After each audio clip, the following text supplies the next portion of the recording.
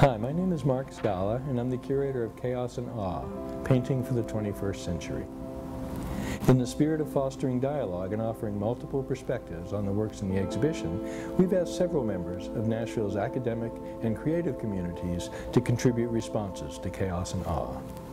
James Barrett, dancer and company member of New Dialect. Michael Bess, Chancellor's Professor of History at Vanderbilt University. Chef Maneet Chauhan of Chauhan Ale and Masala House, Tansuo, and the Mockingbird. Lutz Koepnick, Gertrude Conaway Vanderbilt Professor of German and Cinema and Media Arts at Vanderbilt University. Thaxton Waters II, curator and artist, and Wu Fei, composer and musician.